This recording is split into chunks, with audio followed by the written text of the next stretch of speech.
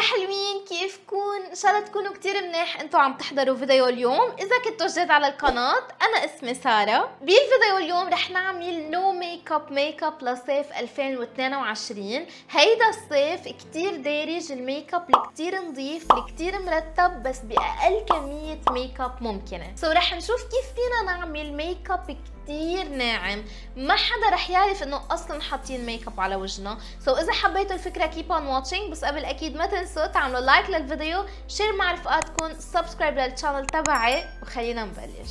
أول قاعدة لميك اب مرتب هو إنه تكون بشرتنا كتير مرطبة وكتير نظيفة. يعني أول شيء لازم نغسل وجهنا ونعمل روتين العناية بالبشرة تبعنا. أنا already غسلت وجهي so رح بلش أول شيء بالسيروم. للسيروم رح استعمل Advanced Night Repair من Estée Lauder صحيح إنه اسمه Night Repair بس فينا نحطه بالنهار وبالليل وأكيد بنحطه قبل ما نبلش بالمرطب أو ال moisturizer رح وزع السيروم على كل الوجه وبالباقي على إيدي رح اقطع على الرقبه تاني خطوة هي المرطب والمرطب كتير مهم لأنه بهيئ البشرة للميك اب والمرطب رح أستعمله اليوم رح يكون من Clinique اسمه Dramatically Different Moisturizing Lotion. حطيت two pumps على إيدي فركتهم منيح على إيدي كرمال فعل اللوشن لاحظتوا كيف صار لونه أبيض وهلأ صار وقت إني أحطه على الوجه.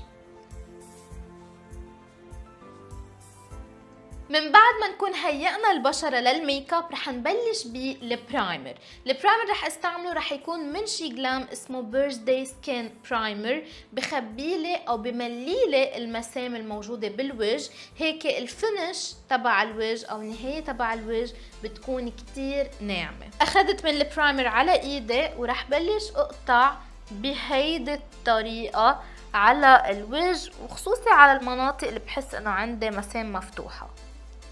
أول خطوة بالميك اب هي إنه نخفي الشوائب الموجودة بالوجه قبل ما نبلش بال foundation وقبل ما نبلش بأي شيء so أنا عندي شوية هيك شوائب عندي شوية سواد تحت العين شوية سواد حد الفم شوي على هيك ال corner أو الزاوية تبع العين. so رح أستعمل concealer من NARS Cosmetics كرمال خبي الشوائب. رح بلش بتحت العين وعم بستعمل كمية كتير قليلة من الميك اب لأنه ما بدي إنه يبين إني حاطة كتير concealer رح حوالي الأنف وحوالي الفم.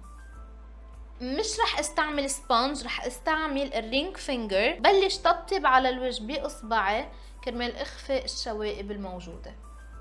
ليش مش عم نستعمل sponge أو فرشاية؟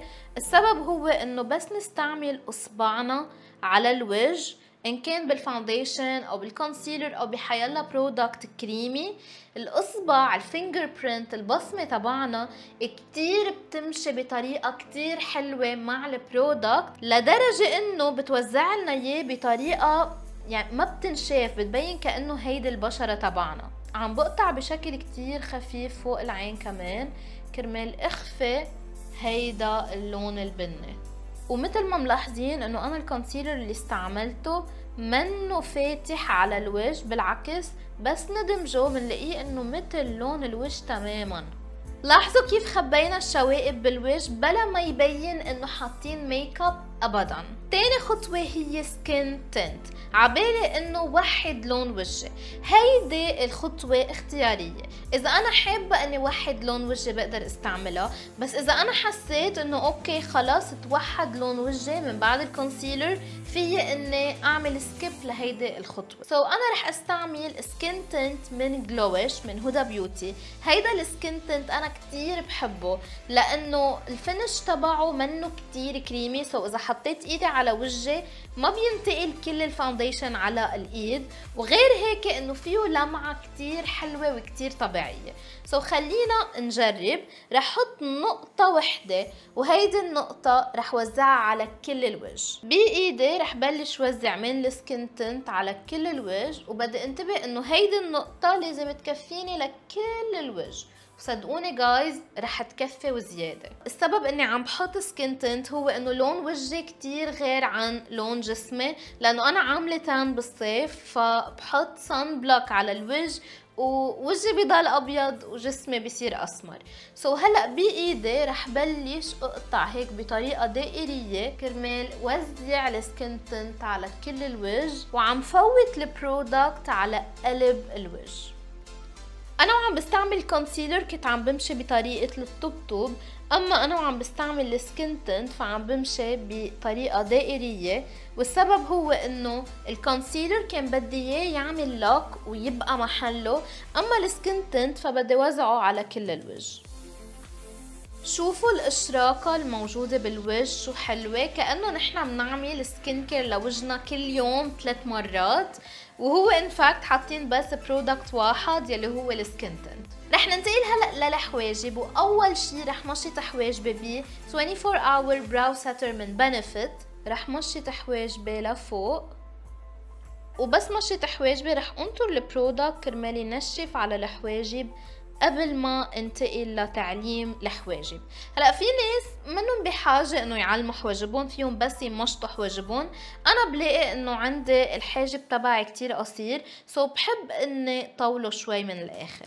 تعبي الفراغات رح أستعمل Precisely My Brow pencil كمان من Benefit ورح بلش عبي الفراغات الموجودة بآخر الحاجب عندي.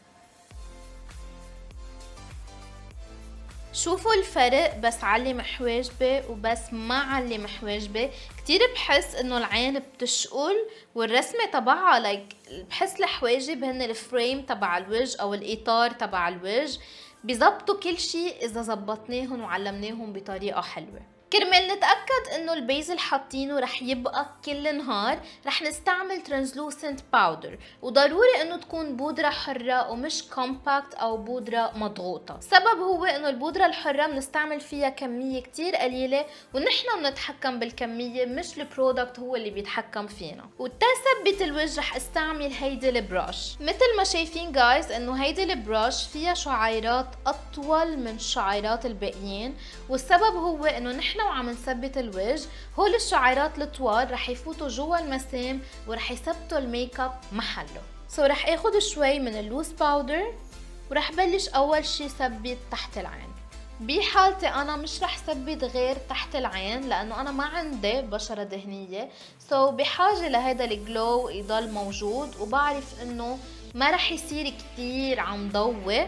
رح يضل نفس ال glow لأنه أنا بشرتي normal to dry أو طبيعية لجافه فرح ثبت بس تحت العين. أما إذا أنتو عندكم بشرة مختلطة فأفضل إذا بتثبتوا ال T-zone يلي هي الجبين الأنف والدقن وإذا عندكم بشرة دهنيه فرح تثبتوا كل الوجه. صار وقت إنه نعطي شوية لون للوجه وصار وقت إنه نحط بلاش. للبلاش في ثلاث أنواع. أول نوع هو التنت.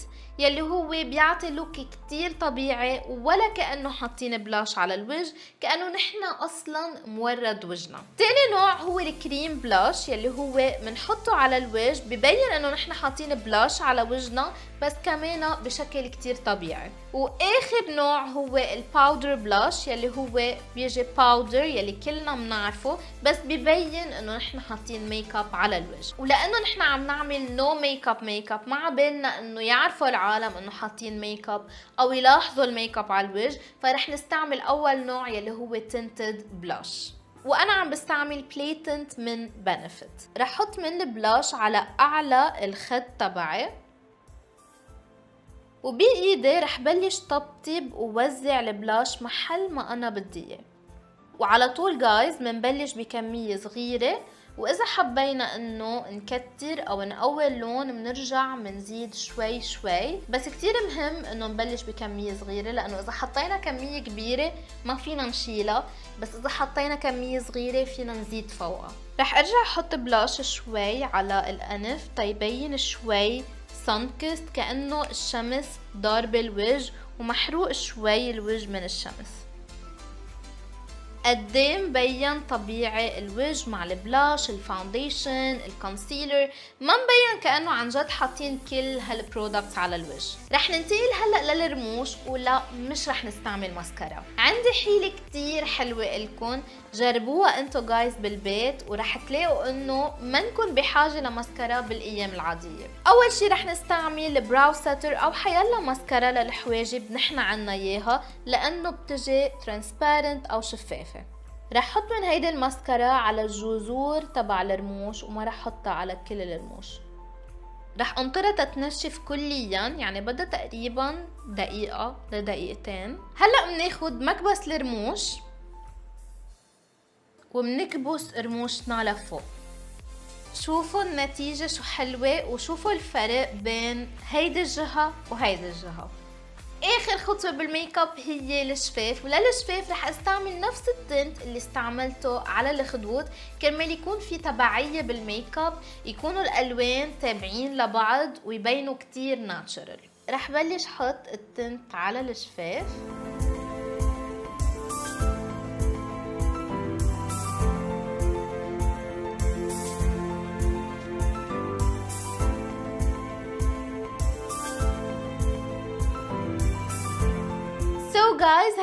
الميك اب الدارج لصيف 2022 يلي هو clean girl makeup أو ميك اب البنت النظيفة اللي ببين كأنه بعدنا عاملين shower وطالعين من ال shower وهيك كتير نضاف وكتير مرتبين و on point مع إنه حاطين ميك اب بس الميك اب منه مبين للعالم. خبروني بال comment إذا حبيتوا الميك اب وشو عبالكم تشوفوا على ال channel وأكيد ما تنسوا تعملوا like للفيديو share مع رفقاتكم subscribe لل channel تبعي. وأنا بشوفكم بفيديو جديد قريبا. باي